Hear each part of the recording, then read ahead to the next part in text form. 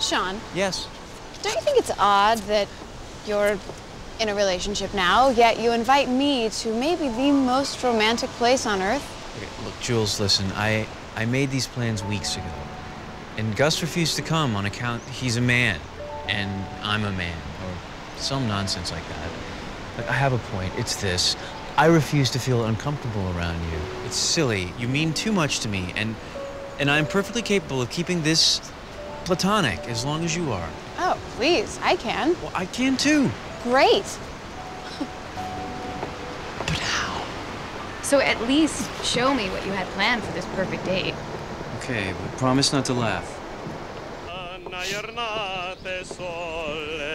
You hired this guy? Technically, Gus did. We would have lost our deposit. I, don't, I think you're supposed to be more discreet.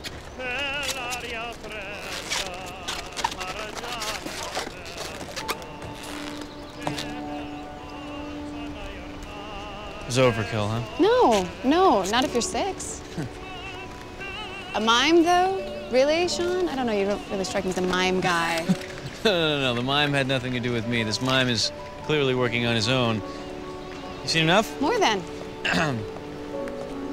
so Abigail's into opera, huh? No, not really. Just robust Italian men. I didn't even know he sang, actually. Look at that bridge. Yeah, it's beautiful. Little known. Coroner's report said McBain's been dead for five days. Yet, the vandalism hasn't stopped since then. Therefore, we can effectively eliminate McBain. I'm now sensing that someone else wants that land. McBain's got the kind of money that's tough to beat. As a result, he or she Or even a he she. had to kill McBain before he got it. He was eliminating the competition. Precisely. Okay. Shawn, are you all right? Where's the bomb? It's down there. Why are you exercising? If his heart rate drops below 150, he's toast. Oh my God, I wrote this note. What? I left it for Shawn as a motivator. I do the same thing before each workout. It's a trick my trainer taught me. What kind of sick trainer have you been working with? Wait a second. So what is the beeping, blinking thing?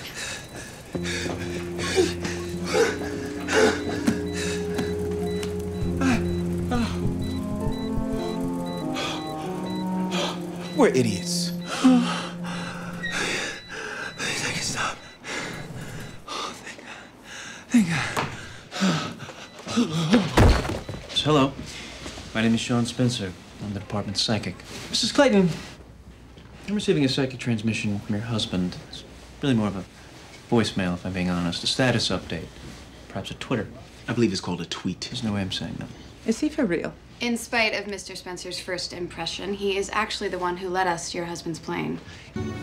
Um, this is. I know you. I met you at our high school reunion. Yes, yes, you did. Shawn tells me you're a teacher. Yeah, kindergarten. Oh, that's great.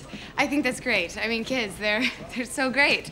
That must be really fun. You know, I, I loved my kindergarten teacher. Yeah, before I went into law enforcement, I actually considered teaching. This is Detective Carlton Lassiter. I do his job, and sometimes his hair, though clearly not today. We should send a unit to secure residence as well. Um, Shawn, you know, this ladder is really built for one.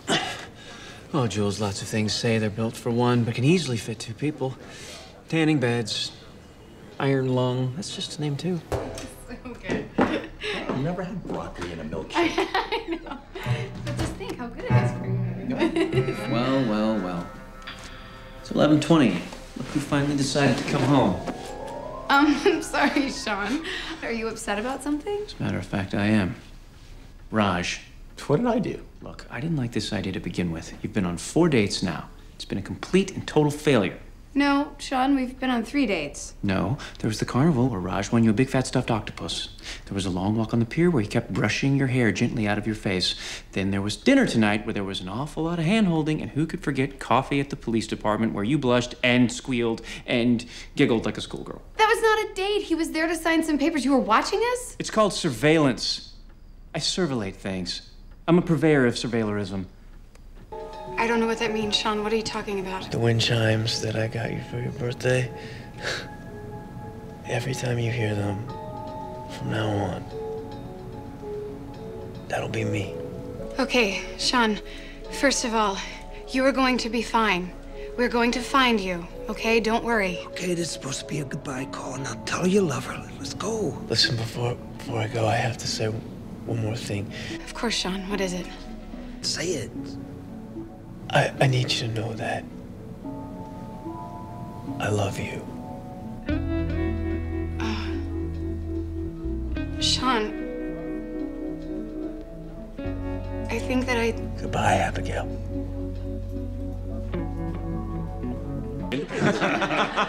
There's nothing really, but uh, honestly, man, from what my sis tells me, you, you're the amazing one. You said that?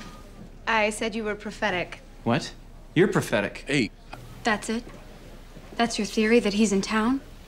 Well, try this theory on for size. You always argue with your father, and you rarely even see your mother. Maybe, maybe it's just hard for you to wrap your head around the fact that somebody might have a healthy, loving relationship with their family.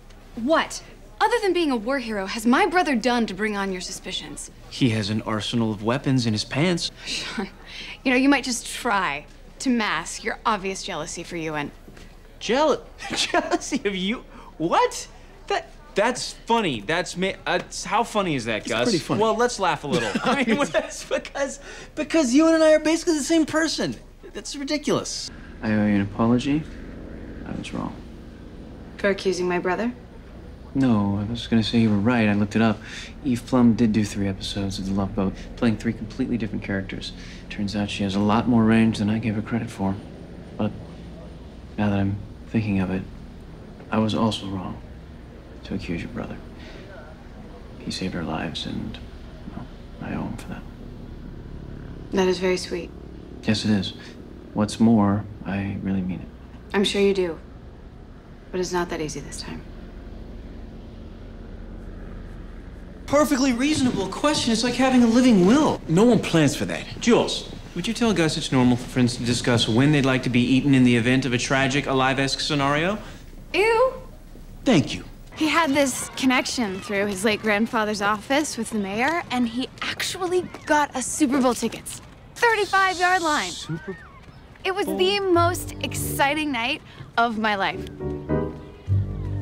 Get out of here! You and your black friend. Get out of here! Wow. Shawn, I actually feel better. Thank you. That makes me so happy.